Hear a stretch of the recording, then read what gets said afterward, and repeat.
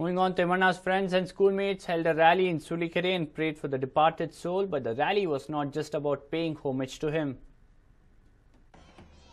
Students of Phoenix English Medium School, where Timmanna Hanumantahatti was studying, held a rally in Sulikere to bring awareness about the dangers of open bore wells.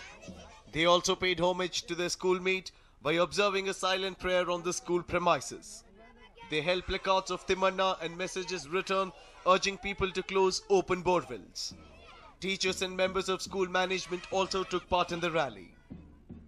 ಮನ್ನ ಹನುಮಂತ ಹಟ್ಟಿ ನಮ್ಮ ಶಾಲೆಯ ವಿದ್ಯಾರ್ಥಿಯಾಗಿದ್ದ ಅವನು ಒಂದು ದುರಂತಕ್ಕೀಡಾಗಿ ಅವನನ್ನು ನಾವು ಕಳೆದುಕೊಂಡಿದ್ದೀವಿ ಅವನ ಆತ್ಮಕ್ಕೆ ಶಾಂತಿ ಸಿಗಲಿ ಅಂತೇಳಿ ಶ್ರದ್ಧಾಂಜಲಿಯನ್ನು ಅರ್ಪಿಸಿದ್ದೀವಿ ನಂತರ ಈ ಕೊಳವೆ ಬಾವಿ ದುರಂತ ಇನ್ನೊಮ್ಮೆ ಆಗದೇ ಇರೋ ಥರ ನಾವು ಒಂದು ಆಂದೋಲನವನ್ನು ಹಮ್ಮಿಕೊಂಡಿದ್ದೀವಿ The students paid a visit to Timmana's house and consoled the bereaved family. There too, they observed a silent prayer and paid homage to Timmanna. Few girl students of the school spoke to our correspondent.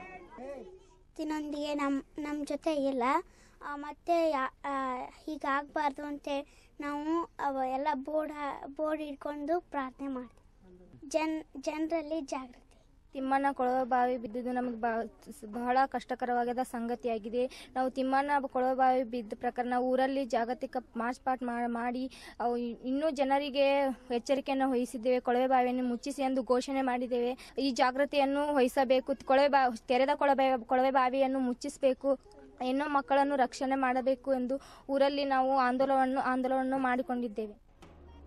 Well, no homage could have been more meaningful than this.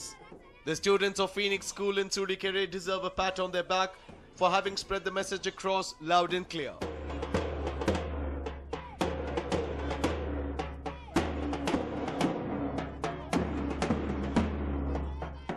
Ashok Yadhali with Suresh Naik from Bagalkot for News 9.